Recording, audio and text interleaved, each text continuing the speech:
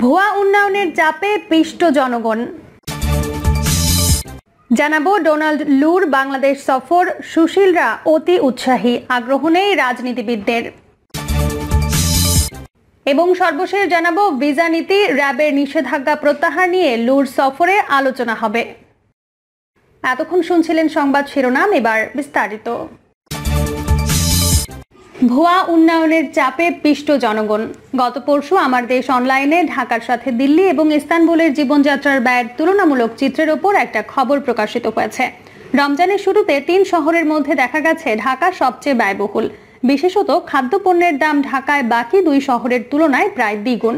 আলুর কেজি ঢাকায় পঞ্চাশ টাকা আর ইস্তানবুলে পঁচিশ। ভোজ্য তেল লিটার প্রতি ঢাকা এবং ইস্তানবুলে যথাক্রমে দুশো এবং একশো, টমেটো নব্বই এবং ষাট। ডজন প্রতি ডিম একশো চল্লিশ আর একশো দশ। ঢাকার কাছাকাছি জনসংখ্যার শহর ইস্তানবুলের বাসিন্দাদের গড় আয় ঢাকার মানুষের চেয়ে শতকরা প্রায় দশ ভাগ বেশি হলেও সেখানকার জনগণ প্রায় পঞ্চাশ ভাগ কম দামে নিত্য প্রয়োজনীয় জিনিস কিনতে পারছেন। ইউরোপের লাগোয়া দেশ তুরস্ক নিজেদের বেশ গরিবই মনে করে। দেশটির মানুষজন খুবই সাধারণ জীবনযাপনে অভ্যস্ত। ছেলে মেয়ের বিয়ে, গায়ে হলুদের অনুষ্ঠানে পাশের দেশ থেকে পর্ণ তারকাদের কোটি টাকা খরচ করে উড়িয়ে এনে নাচানোর কালচার এদের মধ্যে নেই। তাছাড়া বাংলাদেশে তো সারাক্ষণ সিঙ্গাপুর, সুইজারল্যান্ড হয়ে যাওয়ার নির্লজ্জ বড়াই চলছে। এই আলোচনায় আরও একটা গুরুত্বপূর্ণ বিষয় উল্লেখ করা প্রয়োজন। ধনী এবং দরিদ্রদের মধ্যে বৈষম্য বৃদ্ধির হারে বাংলাদেশ ক্রমেই পৃথিবীতে প্রায় চ্যাম্পিয়ন হতে চলেছে। অর্থাৎ রাষ্ট্রের সকল সম্পদ গিয়ে জমা হচ্ছে মুষ্টিমেয় লুটেরাদের হাতে। এই লুটেরা কারা সেটা বাংলাদেশের বর্তমান বংশোদ্ভদ এবং নতজানু মিডিয়া সুবিধাবাদী সুশীলেরা অথবা ফ্যাসিস্ট সরকারের উচ্ছিষ্টভোগী অর্থনীতিবিদ কখনো বলবে না। শেখ হাসিনার উন্নয়নের বড়াই মূলত বিদ্যুৎ উৎপাদন বৃদ্ধি এবং উচ্চ সুদে বিদেশি ঋণে পদ্মা সেতু সহ কয়েকটি অবকাঠামো প্রকল্প নিয়ে। বাংলাদেশে অবশ্যই বিদ্যুৎ উৎপাদন বেড়েছে, কিন্তু এই বৃদ্ধির জন্য গত ১৩ বছরে ভোক্তা পর্যায়ে বিদ্যুতের দামও বেড়েছে তিন গুণ।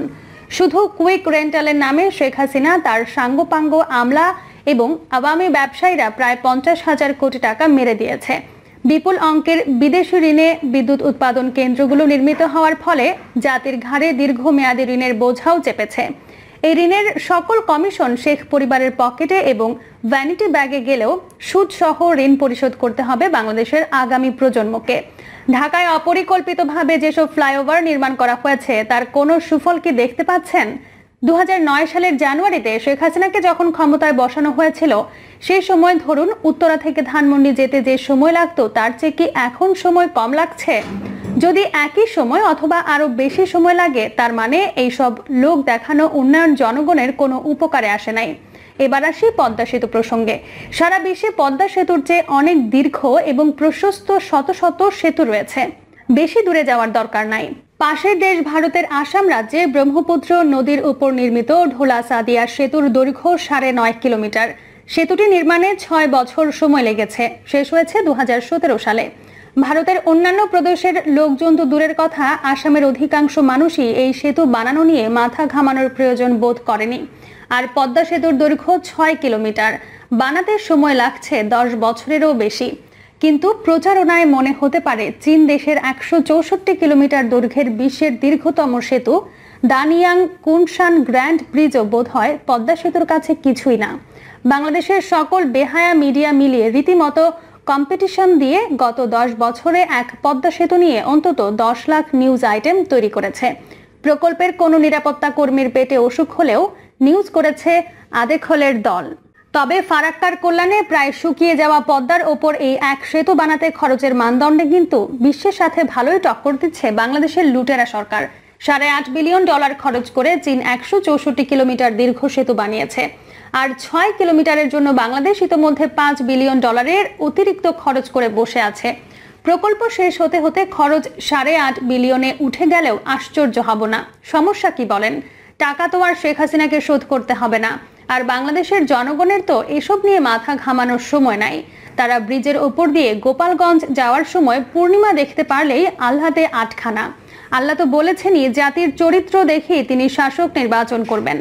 শেখ হাসিনার উন্নয়নের বাগাড়ম্বরের ভেতর কাহিনীটি, এরপরও যদি বাংলাদেশের জনগণের বোধগম্য না হয়, তাহলে দেশটির পরিণতিও শ্রীলঙ্কার মতো অনিবার্যভাবেই হবে।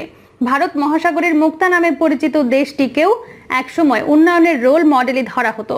তাদেরও ঋণ করে ঘি খাওয়ার দুর্মতি হয়েছিল। আমাদের অবস্থা অনেক বেশি শোচনীয় হবে, কারণ শ্রীলঙ্কার কোনো সরকার ঢাকার ফ্যাসিস্টদের মতো দুর্নীতিবাজ ছিল না। ডোনাল্ড লুর বাংলাদেশ সফর। সুশীলরা অতি উৎসাহী, আগ্রহ নেই রাজনীতিবিদদের। আগামীকাল দুদিনের সফরে ডোনাল্ড লু বাংলাদেশ সফরে আসছেন। বাংলাদেশের নির্বাচনের পর যুক্তরাষ্ট্রের দক্ষিণ ও মধ্য এশিয়া বিষয়ক সহকারী পররাষ্ট্রমন্ত্রী ডোনাল্ড লুর এটি প্রথম সরকার। নানা কারণেই এই সফরকে গুরুত্বপূর্ণ বলে মনে করা হচ্ছে। তবে সাত জানুয়ারি নির্বাচনের আগে ডোনাল্ড লুর বাংলাদেশ সফর নিয়ে যেরকম উত্তাপ ছড়িয়ে পড়ত, এখন সেরকম পরিস্থিতি নেই। ডোনাল্ড লু এর বাংলাদেশ সফর নিয়ে রাজনীতির মাঠে আলাপ আলোচনা আছে। তবে আওয়ামী লীগ, বিএনপি এর কেউই এই সফরকে খুব একটা গুরুত্বপূর্ণ মনে করছেন না। বিএনপি মহাসচিব মির্জা ফখরুল ইসলাম আলমগীর সাফ জানিয়ে দিয়েছেন যে ডোনাল্ড লু বা কে বাংলাদেশে আসলো সেটি আমাদের দেখার বিষয় নয়। আমরা এটা নিয়ে আগ্রহও নই। অথচ ছয় মাস আগেও তিনি এই ধরনের সফর নিয়ে প্রচণ্ড আগ্রহী ছিলেন। বিশেষ করে নির্বাচনের আগে যখন ডোনাল্ড লু বাংলাদেশ সফর করেছিলেন, তখন বিএনপির মধ্যে রীতিমতো উৎসবের ঢেউ বয়ে গিয়েছিল।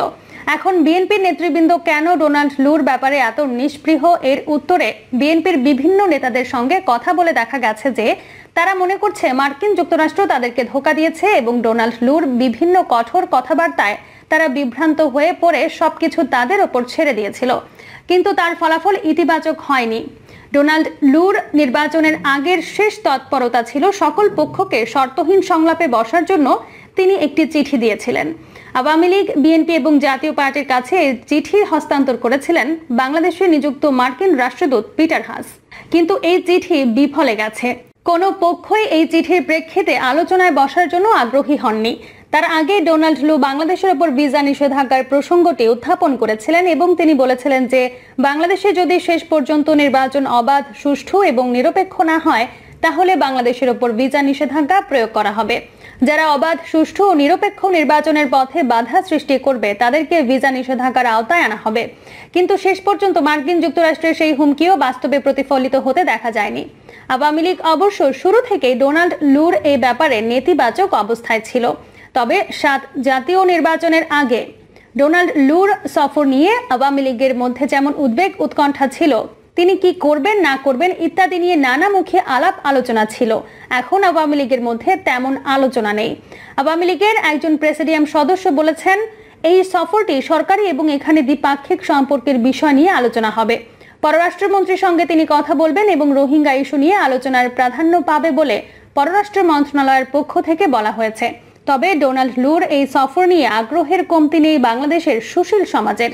সুশীল সমাজ শুরু থেকে ডোনাল্ড লু এর সঙ্গে একটি গভীর সম্পর্ক বজায় রেখে চলছিল এবং নির্বাচনের আগে ডোনাল্ড লুকে ব্যবহার করে সরকারের ওপর চাপ প্রয়োগের কৌশলও দৃশ্যমান ছিল। কিন্তু নির্বাচনের পরপরই মার্কিন যুক্তরাষ্ট্রের ভূমিকায় সুশীলরা আশাহত হয়ে পড়েন। এবার ডোনাল্ড লুর সফর ঘিরে তারা নতুন করে আশায় বুক বেঁধেছেন। ডোনাল্ড লুর সফরে সুশীল সমাজের প্রতিনিধিদের সঙ্গে একটি বৈঠকের ব্যবস্থাও করা হয়েছে। তবে কূটনৈতিক মহল মনে করছেন যে ডোনাল্ড লু এই যাত্রায় তিনটি সফর করবেন। বাংলাদেশ ছাড়াও ভারত এবং শ্রীলঙ্কা সফর করছেন। এই উপমহাদেশের দেশগুলোর সঙ্গে মার্কিন যুক্তরাষ্ট্রের সম্পর্ক উন্নয়নের ব্যাপারে এটি একটি রুটিন সফরের অংশ। এ কারণে এই সফরটি রাজনৈতিকভাবে তেমন গুরুত্বপূর্ণ নয়। ভিসা নীতি, র্যাবের নিষেধাজ্ঞা প্রত্যাহার নিয়ে লুর সফরে আলোচনা হবে। পররাষ্ট্রমন্ত্রী ডক্টর হাসান মাহমুদ বলেছেন, র্যাবের ওপর আরোপিত নিষেধাজ্ঞা এবং ভিসা নীতি তুলে নেওয়ার ব্যাপারে যুক্তরাষ্ট্রের দক্ষিণ ও মধ্য এশিয়া বিষয়ক সহকারী পররাষ্ট্রমন্ত্রী ডোনাল্ড লুর আসন্ন ঢাকা সফরে আলোচনা করা হবে। পররাষ্ট্রমন্ত্রী বলেন, এই বিষয়গুলো আমাদের সম্পর্কের ক্ষেত্রে কিছুটা রেখাপাত করেছে তো বটেই।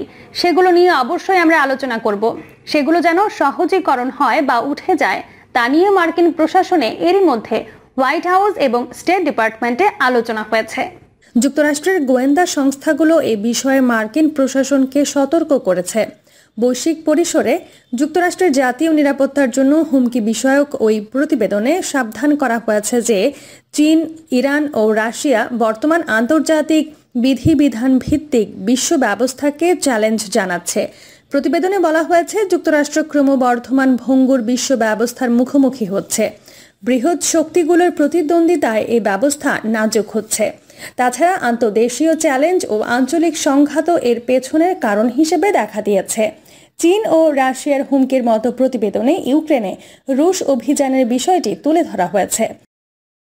প্রিয় দর্শক, এই ছিল এখনকার সর্বশেষ সংবাদ। আপডেট সব সংবাদ পেতে চ্যানেলটি সাবস্ক্রাইব করে বেল আইকনটি ক্লিক করে রাখুন।